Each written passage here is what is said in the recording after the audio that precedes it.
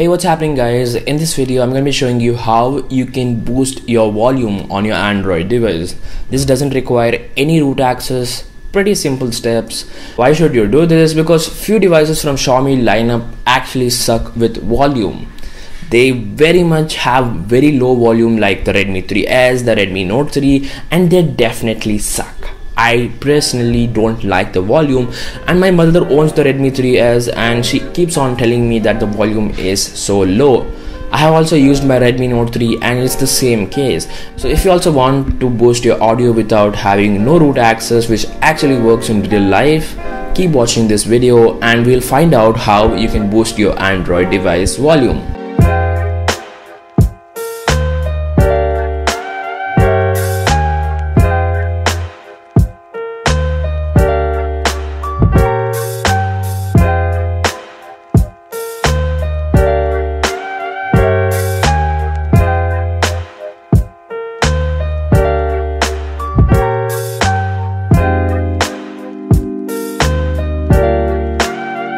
How is it actually useful for every person hmm, it's actually useful for every person if you watch Blu-ray movies on your Android phone, you know that Blu-ray movies have high video quality, but the audio on that are very very low.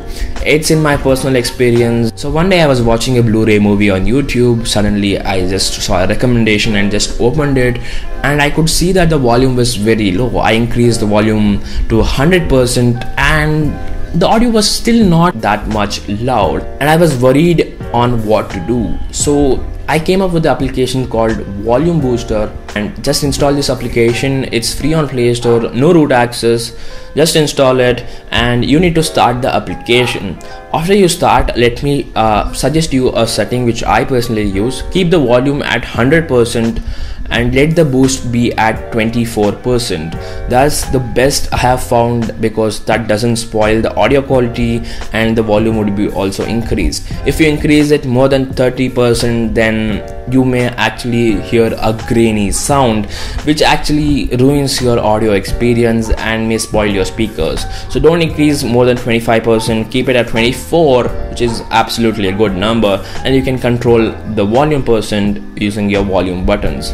That's absolutely a good choice from my side. I know this has a lot of advertisements. Just turn off the wi-fi and you won't see a lot of advertisements.